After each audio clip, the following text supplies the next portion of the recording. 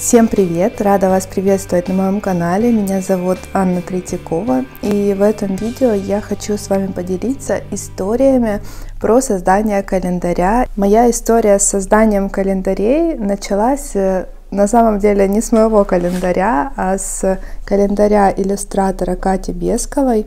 В 2017 году я увидела календарик, и я была подписана на Катю не с начала января, я не видела ее календарь, и купила его только в мае. И мне он безумно понравился, понравились эти большие ячейки, понравились иллюстрации, как это все оформлено и как это было удобно записывать все свои дела в такие широкие ячейки, вклеивать наклеечки. Я была очень вдохновлена и решила, что я хочу создать свой календарь, который будет с моими иллюстрациями и я придумала, что я нарисую себе календарь с птичками. Это был календарь на 2018 год. И я рисовала здесь иллюстрации разных-разных птиц. У меня был формат такой же, как у Кати. Я сделала такого же размера ячейки, сделала иллюстрации небольшие. Но единственное, конечно, я сделала все это без фона, в своем стиле. Я рисовала акварелью, и получились вот такие классные птички. Я была безумно довольна тем, что получилось. Конечно, есть моменты, на которые я сейчас смотрю и понимаю, что да, можно было сделать чуть по-другому. И, например, а, мне здесь не очень нравится шрифт, э, не очень нравится толщина линий, но так как это был мой первый-первый календарь тестовый, то конечно, я была все равно безумно довольна. Я сейчас вам листаю версию не мою, а версию, которая была дома у родителей э, висела. Там они, естественно, ничего не заполняли, э, потому что им нравятся просто иллюстрации. И я его забрала, чтобы показать вам, полистать вместе с вами. А моя версия календаря, она полностью заполнена, все эти ячейки. И, конечно, там много личной информации, много встреч, э, своих планов, которые я не хотела бы показывать. И как это выглядело в реальности. Вот такой вот у меня был прототип обложечки, где я рисовала попугая. На самом деле это была моя фатальная ошибка, потому что все-все птицы, когда я потом разбирала их, они были э, из класса синиц, и они все подходили, вот, ну, по-моему, это семейство было синиц, и они все-все были в, как бы подходящие, похожие друг на друга. И только попугай, он э, отличался. Не знаю, почему я так неосторожно выбрала именно эту картинку, да, что э, она такая была вертикальная в большей степени и мне подходила под обложку, но немного не сочеталась со всеми остальными птичками. Я назвала этот календарь «Птицы мира». Идею я придумала, когда поняла, что я много рисую птиц в своих скетчбуках, и они мне нравятся, меня вдохновляет рисовать птичек, и я поняла, что я смогу нарисовать целую серию иллюстраций. В итоге я так и сделала. Я тут еще рисовала самостоятельно месяцы, писала, но тогда я не могла обрабатывать красиво буквы. Сейчас бы я, конечно, их трассировала и сделала очень красиво, но тогда я это не умела делать. Это был леттеринг. И я взяла просто шрифт, который использовала уже в готовом календаре. Да, я готовила иллюстрации, я изучала очень много информации про разных птиц, как они правильно называются, как они называются на латинском языке, как э, вообще они в каких местах проживают, чтобы они подходили под разные месяцы и э, совпадали с моим календарем. То есть это была такая большая работа исследовательская. Когда я сделала этот календарь, я поняла, что я не хочу останавливаться, я хочу продолжать.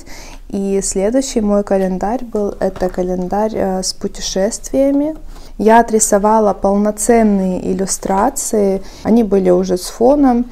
И здесь я опять же использую тот же шрифт, что был в птичках, но я меняю верстку. То есть я уже не копирую эту верстку, что была, а делаю собственную верстку. И чтобы продумать ее, я делаю вот такой вот прототип.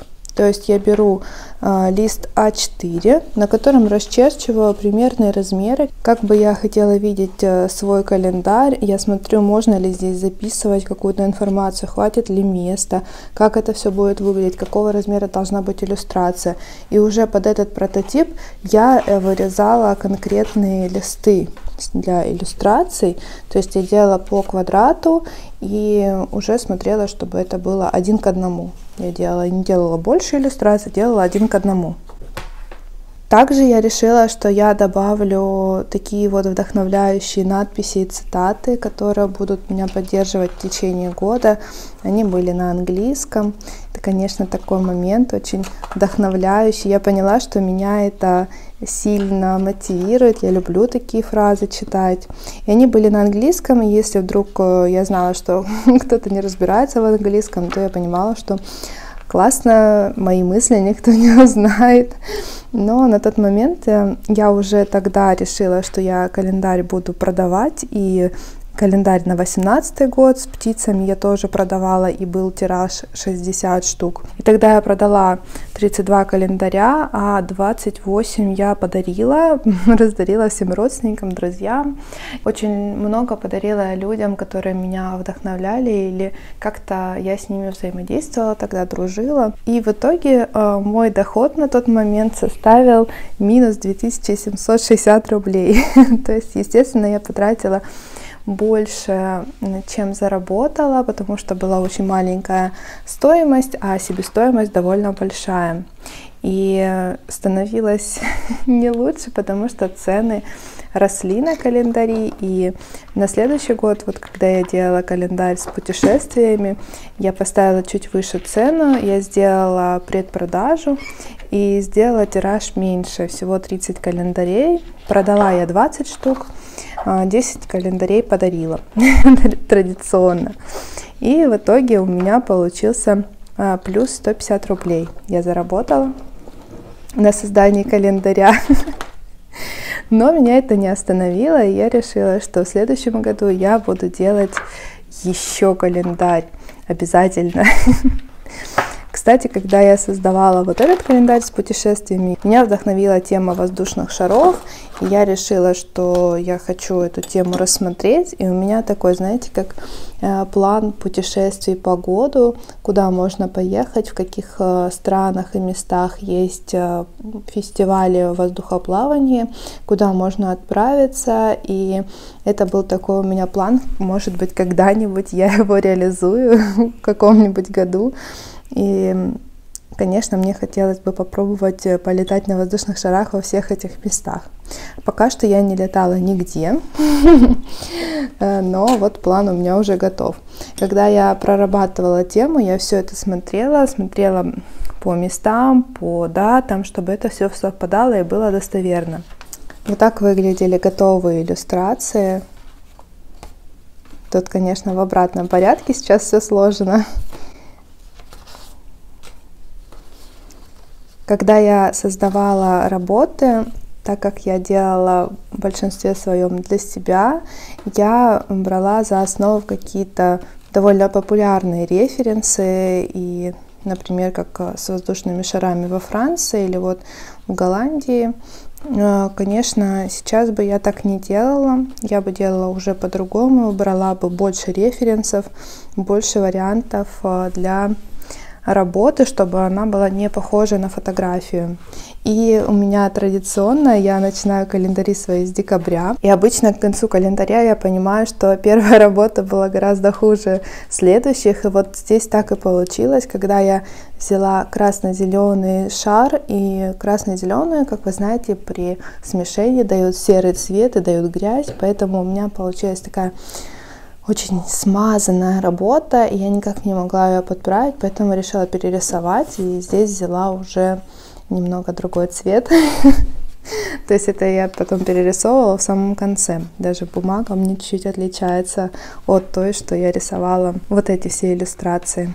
Кстати, да, это моя фишка начать с декабря и отрисовывать самый последний месяц, а потом уже рисовать другие. Также во время верстки я не ставлю каких-то праздничных дней, хотя он календарь на русском. Я предполагала, что, возможно, могут покупать в разных странах. И может быть нестыковка по праздникам. И в то же время у каждого свои праздники. Да? я, например, хочу больше выделить, например, свой день рождения да? или какие-то памятные значимые даты именно для меня.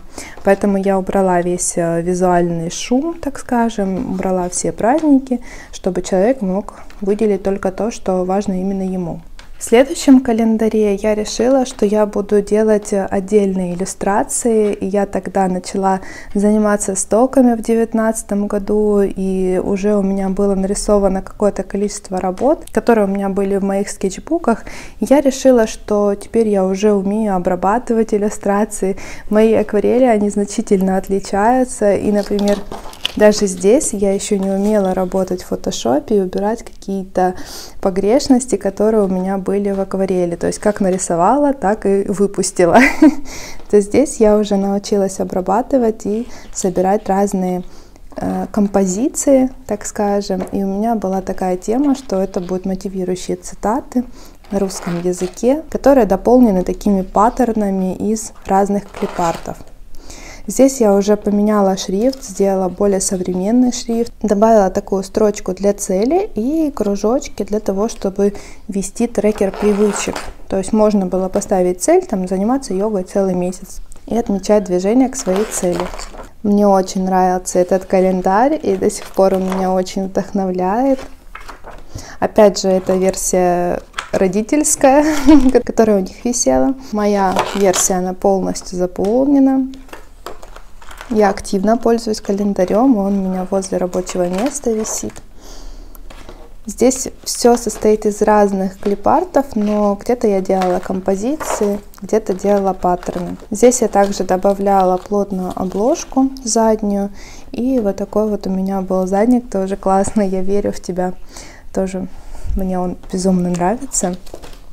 Такой классненький календарь получился. В процессе работы над календарями я также делала открытки. Вот эти открыточки я сделала к календарю 2020 года. Такие классные получились. А вот эта открытка, ну понятно, иллюстрация, которая вдохновила меня больше всего. Это календарь на 2021 год. Снова я взяла такую верстку, когда у меня огромные иллюстрации и маленькие ячейки. Опять же осталось место для целей, остались трекер привычек, но уже без цитат.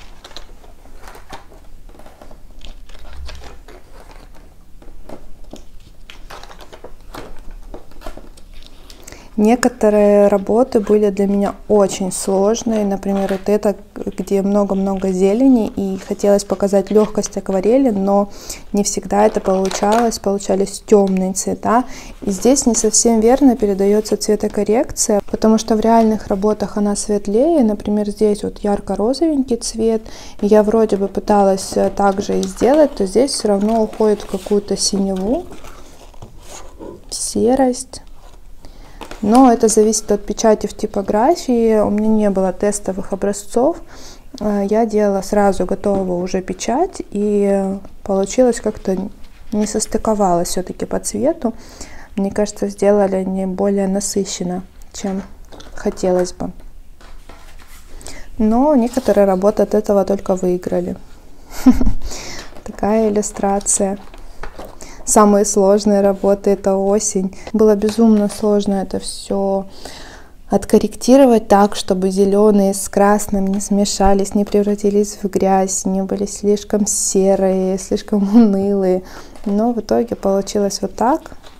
Э, может быть, конечно, стоит потренироваться, еще рисовать осень, чтобы было еще более красиво, более прикольно. Здесь то же самое было сложно нарисовать этой горы. И здесь, видите, она в красноту ушла, хотя здесь она рыженькая. Вот это моя любимая. Туманные горы. Безумно люблю горы и туман. И здесь уже завершается. Это история создания моих календарей 4 года. И я немного говорила про деньги. В 2020 году я напечатала 30 штук также тираж. И у меня получилось, что я 27 продала и была в плюсе плюс 2000 340 рублей за полностью всю работу. Безумные деньги, конечно, я такой предприниматель, но меня это не остановило. И я в 2021 году решила еще раз сделать календарь. А, ну, в большей степени, конечно, для себя, для своей самореализации, потому что это такой проект, который меня очень греет э, душу. И в итоге я напечатала всего 20 календарей тираж, э, продала всего 10. И сейчас у меня минус полторы тысячи рублей доход. А, в итоге на календарях я заработала минус 1720 рублей. Можно сказать, что за 1720 рублей я исполнила свою мечту. и порадовала многих близких своими календарями. И еще получала очень много теплых комментариев, приятных от людей, которые приобрели календари. И это, конечно, безумно приятно, что календарь в течение года радует человека, и он там записывает свои мечты, планы, цели. Это очень здорово. Но на следующий год я даже не знаю, буду я делать календарь или нет. Возможно, это будет календарь только для меня, и я уже не буду его печатать, потому что, как показали последние четыре года, для меня это не совсем выгодный проект, и я очень много трачу ресурсов, у меня целый месяц уходит на то, чтобы все это подготовить, придумать, прорисовать, сделать, напечатать, отправить, продать, скоординироваться со всеми людьми, но в итоге получается минус. Конечно, в этом году, в 2020, я немного расстроилась от этого, что опять так получилось, и опять я просчиталась. Поэтому следующий год вряд ли будет у меня продолжение календарей но все равно я очень рада, что я делаю эти проекты, что у меня так много классных иллюстраций получилось, и они радуют меня, и мой год наполнен прекрасным. И еще у меня есть небольшой блок э, с ответами на вопросы. был вопрос, можно ли заработать на календарях, и парочка советов. Это, чтобы заработать, нужно закладывать, какую стоимость у вас будет иллюстрация. Например, вот эти иллюстрации, они у меня еще и себестоимость была большая, потому что я рисовала на дорогой бумаге Кенсон Мулин Дюра. Он стоил лист у меня 700 рублей. Это я даже не приплюсовывала к тому минусу, что у меня получился. А, то есть материалы мы закладываем, какая себестоимость, сколько мы тратим времени, сколько мы тратим на печать, отправку и так далее. То есть почтовые расходы, расходы на типографию. Например, у меня себестоимость вот этого календаря в этом году получилась практически 350 рублей, потому что маленький тираж, он стоит дороже получилось по 350 рублей. И я даже тут еще не считала, что сколько я потратила своих часов работы, практически весь месяц я занималась этим проектом, а, плюс отправка, затраты на переговоры, почту, походы и так далее. То есть все это нужно вкладывать, да, свои расходы и время. То есть нужно ставить или выше цену, или продавать гораздо больше, делать рекламу. Мне советовали, что нужно делать календари еще там в июле-августе, чтобы была возможность еще по времени продать эти работы, чтобы было время на рекламу, чтобы можно было спокойно продавать свои календари. Также нужно смотреть, есть ли дополнительные затраты. У меня, например, были дополнительные затраты на открыточки, которые я вкладывала в каждый заказ. А это тоже плюс 15 рублей. Я примерно посчитала, что чтобы заработать мне хотя бы тысячу рублей с иллюстрации, мне нужно было продать минимум 60 штук, и это даже, ну, просто, это самый минимум, но я в итоге продала 10. То есть я проект этот в 2020 году провалила. А, поэтому, когда вы будете делать свои календари, если вы планируете их делать, то обязательно просчитывайте все свои расходы, все свои затраты и считайте, какую цену вы хотели бы получить, то есть сколько вы хотели бы заработать и стоит ли оно того или нет. Принимайте решение. Спасибо, что посмотрели это видео. Была рада поделиться с вами своими историями тем, как я отрисовывала календари. Для меня это один из любимых проектов, э, который я постоянно делала зимой, осенью, и меня это безумно вдохновляло и вдохновляет. Так что Если вам понравилось, ставьте лайки, подписывайтесь на мой канал. Пишите в комментариях, вдохновила ли я вас или расстроила, а, разочаровала доходами. И буду рада с вами пообщаться. До новых встреч и пока-пока. Увидимся в следующих видео.